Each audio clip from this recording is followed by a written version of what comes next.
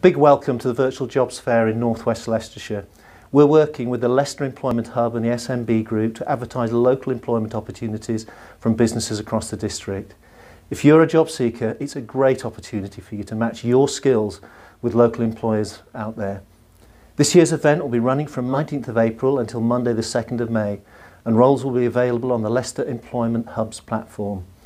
As this is a virtual jobs fair, you'll be able to access the job vacancies 24 hours a day, seven days a week to fit in with you. We hope that you enjoy browsing the vacancies available over the next couple of weeks and I wish you all the very best finding the next step in your career path.